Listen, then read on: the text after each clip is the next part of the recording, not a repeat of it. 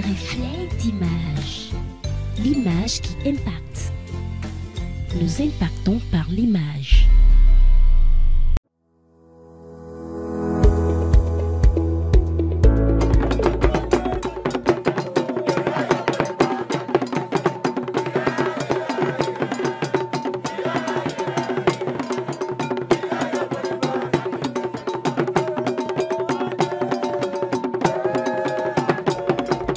Messieurs, à vos rangs et grandeurs respectés, je vous dis bienvenue ici à Badikouyan pour ce grand jour.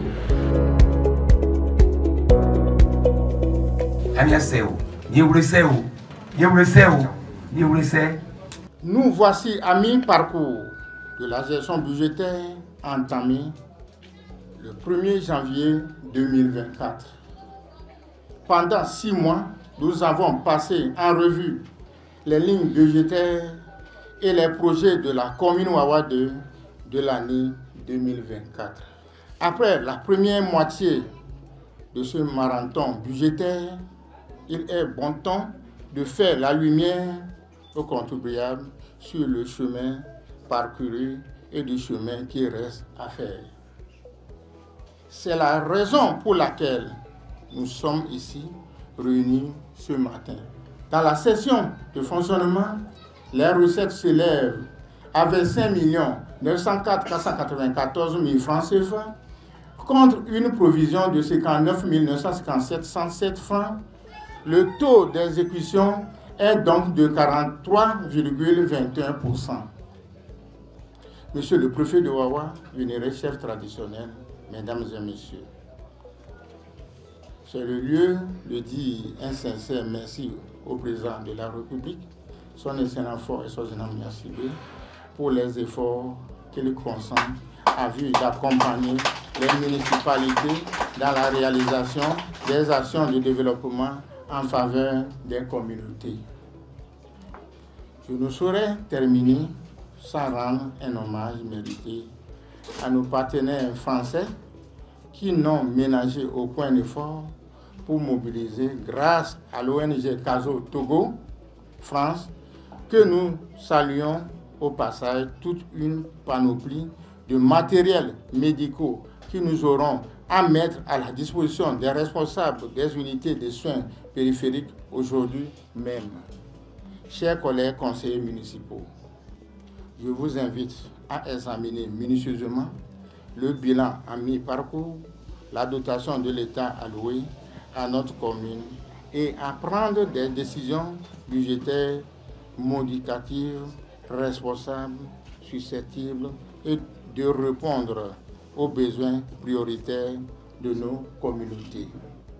Aussi voudrais-je témoigner la gratitude de Monsieur le Préfet des populations à Monsieur le maire pour son engagement et sa détermination ostensible à faire de cette commune une commune rayonnante, sans oublier la contribution des autres conseillers qui ont rendu possible le don de matériels médicaux et le jumelage entre la commune Oua 2 et Achigny, sans oublier les nombreux projets en cours au bénéfice des populations.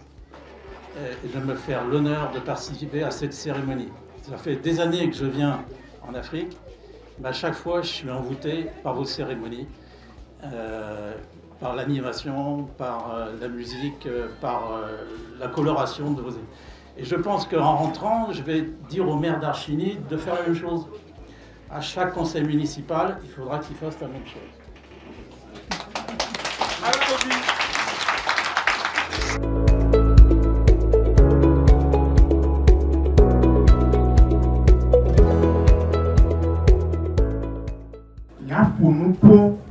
Population efia omi le yɔ mi bede miava miava se miakele dzɔ le miyɔna mi chaque trois mois ke mi le to problème wo ke le miawo dzi leke miawɔ mia développé mia akpɔsɔƒe doa o amedi ma va développé akpɔsɔƒe do mi o de la développé miaƒe doa o la alo.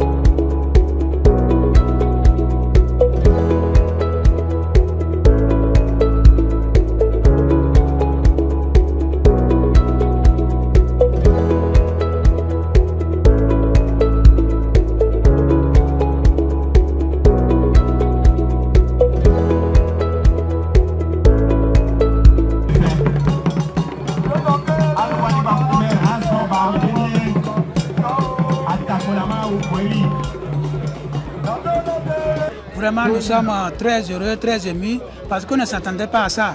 On dirait que c'est une surprise. Et vous savez, le maire Wawa 2 nous a toujours aidés. Quand il vient toujours, il a une judiciaire pleine. Voilà qui nous a amené du matériel. Euh, on ne sait même pas comment manifester notre joie.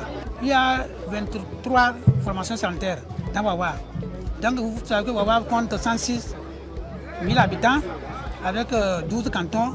Et avec ce matériel-là, on va partager ça selon le poids de la formation sanitaire. Certaines formations sanitaires ont eu 4, d'autres ont eu 2, mais les cas de santé ont eu 1, 1. Ça dépend du poids de la formation sanitaire. Mais tout le monde quand même, chaque USP, chaque formation sanitaire aura au moins quelque chose quand même.